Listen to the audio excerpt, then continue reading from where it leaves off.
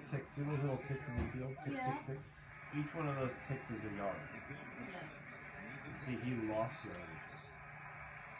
So he started here, and then they pushed him back, so that he lost yardages. The whole idea is to the whole idea is to get yardages towards the goal.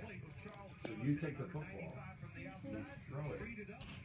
It goes tick, tick, tick, tick, tick, tick, 10 yards, 20 yards, 5 yards, 2 yards. The point is, you have four chances, four chances to get it to, the, to past 10 yards.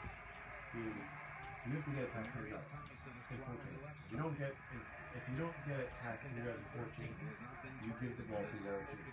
And then they have the same thing. 10 yards, four chances. Third down.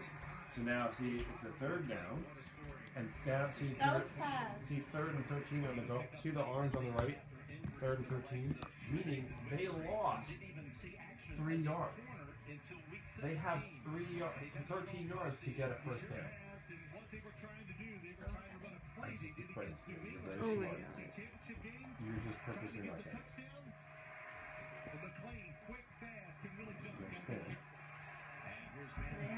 That way to go Forget that way. Forget that. Just, just understand. How many chances do they get, and how far do they have to get before they, Ooh, this is a field goal. before they get their first down? Okay. So there's, there's how big is the football field? Sixty yards? Hundred? Think about it. It's 10 to 50, and then 50 to 10 again. How many yards? Hmm? So, I have 100 yards.